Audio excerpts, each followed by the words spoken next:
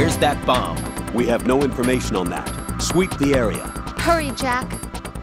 The bomb has to be somewhere on the heliport. Use whatever means necessary to locate it.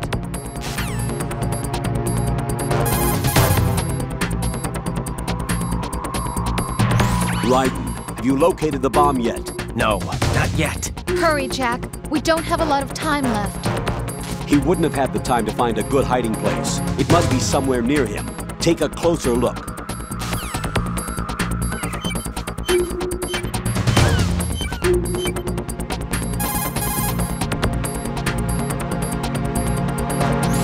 Raiden, the bomb? Nothing yet. Where is that damn thing? We're running out of time. Have you checked under Fat Man's body? What? Of course not. It can't be there. You don't know that.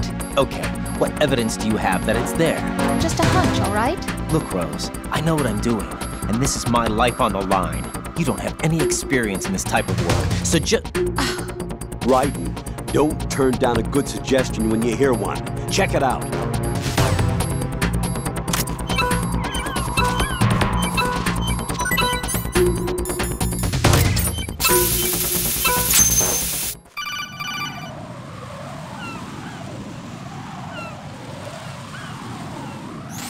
Good work, Raiden.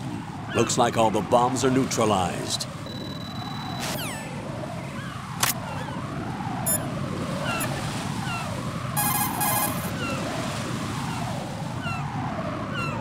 Jack, do you need to save?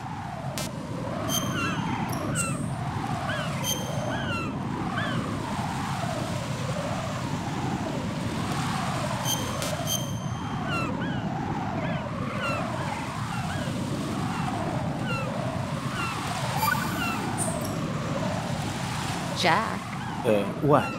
you know what I'm talking about. All right, all right. The bomb was where you guessed it would be. You were right, and you saved my butt. As long as you realize that. I was pretty surprised, though. I never expected to find it where I did. You must think I'm pretty clueless, huh? Of course not. And I have a pretty healthy respect for the woman's intuition thing now. That is such a sexist thing to say, you know that? Come on, don't be mad.